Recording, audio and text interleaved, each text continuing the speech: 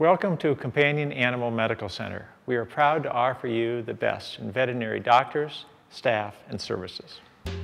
Upon entry, you will be greeted by our professional staff and escorted to an exam room specifically designed for your cat or dog. Our award winning facility in Carmel includes animal specific exam rooms, a spotless kennel, full pharmacy, and state of the art surgery suite. Also, we have ventilated exam rooms and boarding spaces keep odors out.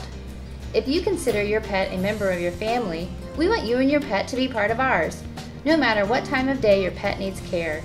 We are staffed for emergency care 24 hours a day, 7 days a week, and urgent care for those unforeseen illnesses and incidents. Complementary to our medical center is our wellness center, located in the village of WestClay. Based on the age and breed of your pet, we will make recommendations on how you can best care for your pet.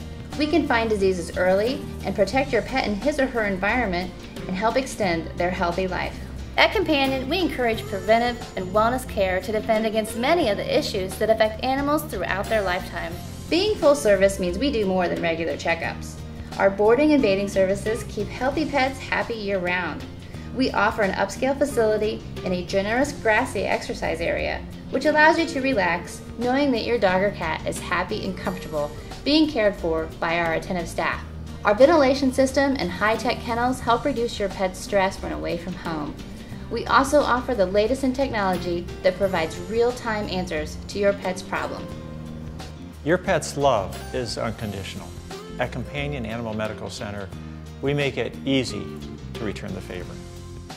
Our unconditional declaration is to provide the highest available level of care administered by a team of doctors and staff who stand together for the health and happiness of your pet. Contact us to schedule an appointment or stop by for a tour.